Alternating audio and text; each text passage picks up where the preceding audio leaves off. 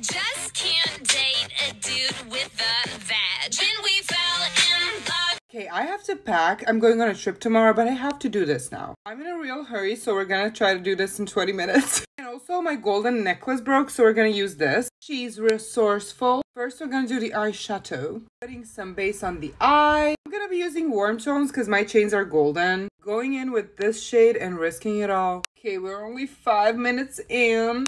God, they're not the same, are they? Wait a minute, it actually looks okay. Not me doing everything last minute. Sorry, you guys, but the fan's gonna have to be on. This is gonna sound like an airport now. Okay, now the gold in the middle. And the chain.